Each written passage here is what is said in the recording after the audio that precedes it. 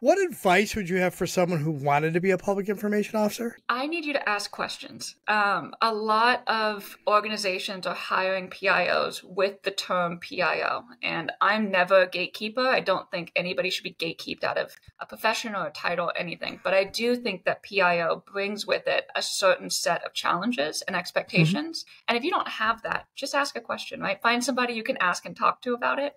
Um, I find a lot of PIOs tell me that they learned, you know, trial by combat. And it's like, well, who did you bring in the wing with you? Or did you face the wing by yourself with a stick? Because there's other PIOs who would come in and gladly teach you right. so many things for free.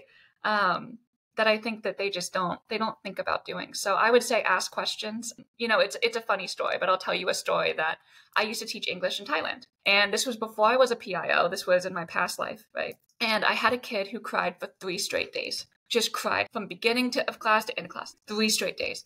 And I couldn't figure out why I was crying and I did everything to figure it out to make this kid stop. And finally, I looked at my co-teacher who was Thai, and I asked, "Why is he crying?"